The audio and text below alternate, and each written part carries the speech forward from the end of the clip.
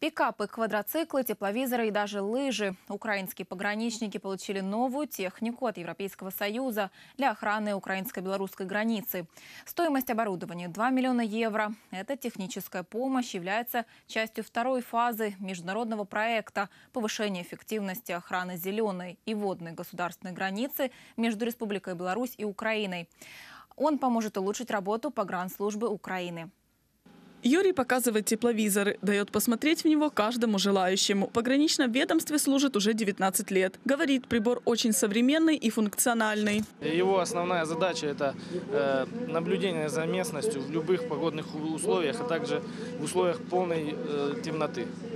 Э, с функцией определения расстояния к наблюдаемому объекту, определения его температуры.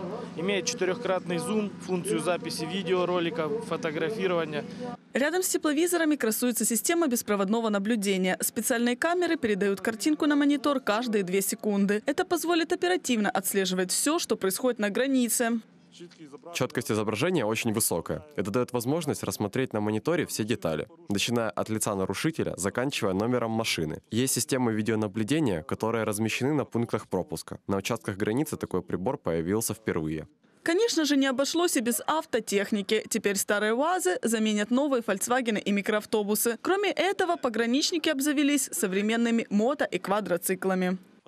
Машины предназначены для перевозки пограничных нарядов и грузов в любых дорожных и климатических ситуациях. Активно используются в охране государственной границы. Конечно же, работать станет намного комфортней. Пограничным нарядам станет намного легче. На мероприятии журналистам показали только часть полученного оборудования. Остальная техника уже активно используется для охраны белорусско-украинской границы. Проект стартовал в апреле 2014 года при поддержке ЕС. За это время украинские пограничники уже получили, в частности, 25 внедорожников, 6 микроавтобусов, 45 мотоциклов, 10 квадроциклов, 30 тепловизоров и 70 пар беговых лыж. Нашими друзьями Наши друзья из Европейского Союза передали нам большое количество техники, средств охраны государственной границы, которые поднимут уровень защиты украинской границы и улучшат качество выполнения задач пограничниками. Мы очень тесно сотрудничаем с пограничной службой Украины. Европейский Союз и Украина должны быть уверены в том, что границы Украины с соседними странами надежно укреплены. Сегодня мы передаем Украине оборудование общей стоимостью 2 миллиона евро. Европейские партнеры воочию смогли увидеть, как работают украинские пограничники. Сначала свои умения показали кинологи. А в завершение пограничники задержали нарушителей государственной границы.